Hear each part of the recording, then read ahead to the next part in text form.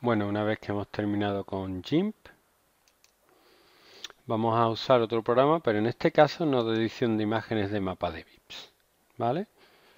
Sino un editor de imágenes vectoriales. La diferencia entre las imágenes de mapa de bits y las imágenes vectoriales es que las imágenes de mapa de bits están formadas por puntos. Y las imágenes vectoriales están formando por líneas, están formadas por líneas y rellenos. De modo que las imágenes vectoriales ocupan menos. Pero, claro, tienen menos definición. Son dibujos, digamos, y los otros son fotos. ¿Ok? Entonces, el programa por, por antonomasia que se usa en, en Ubuntu, en Linux, es Inkscape. Pero, editor de gráficos vectoriales, no sé cuál es. A ver, ah, aquí está, ¿vale? Entonces tenemos que hacer lo mismo.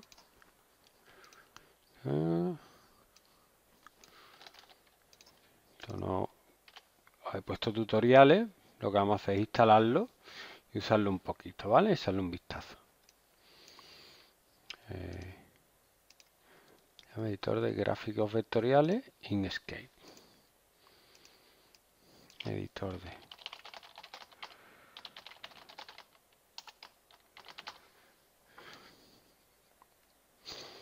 Entonces, pues, procedemos, igual que con GIMP, a instalarlo, ¿vale? Vamos a parar el vídeo. Como siempre, me pide la contraseña de administrador, ¿vale? Y vamos a esperar que se instale. Bueno, ya está instalado. Vamos a abrirlo y vamos a dar una vueltecita por él. ¿Mm?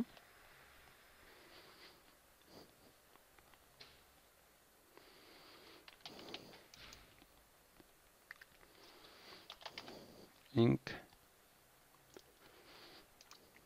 Editor de gráficos vectoriales. Ya hemos explicado la diferencia entre vectorial y mapa de bits. Un mapa de bits son puntitos de color. Gráfico vectorial, que son líneas, rellenos, etcétera, sirve muy bien para hacer dibujitos no tanto para tratar con fotos, ¿vale? Aquí tenemos el programa y podemos hacer trayecto, línea, lo tenemos que pulsar. Para modificar. Rectángulos y cuadros. ¿Vale? A ver. Aquí podemos cambiar el tamaño. A ver, aquí podemos cambiar el color de relleno.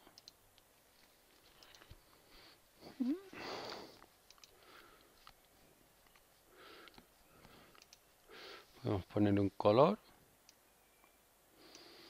Podemos poner un degradado. ¿Vale? Bueno.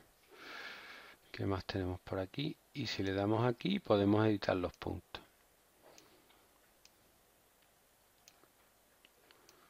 ¿Vale? Ajá. Vamos para abajo. A ver. Cajas 3D. ¿A dónde? Qué chulo. Mira. Podemos editar.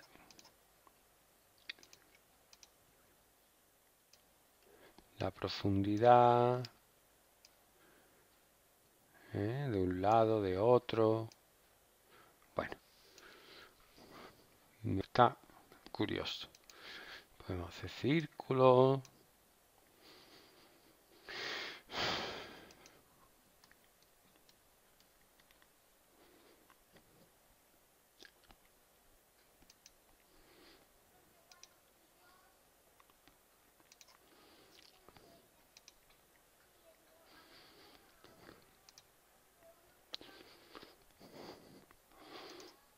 Estrella.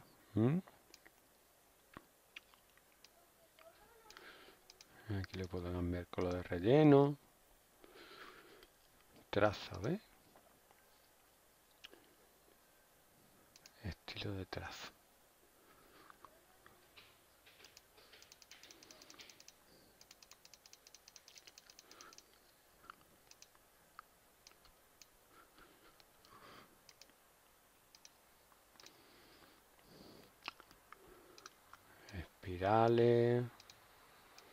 Bueno. Línea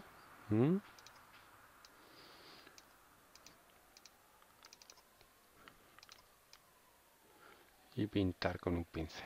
Bueno que lo que quiero es que lo probáis un poco vale Tenéis aquí un montón de herramientas lo que quiero es que bueno que veáis que hay programas que podéis guardar instalarlo hacer bueno lo que queráis vale ya digo que os he puesto tutorial en la plataforma no se trata de ser em, aprender a manejarlo entero pero bueno una horita que tenemos un poquito de Gin un poquito de Inkscape podemos echarle un ojo y, y aprendiendo. Y veis que bueno, que conforme vamos manejando tutoriales cada vez aprendemos más y somos capaces de aprender por nosotros mismos.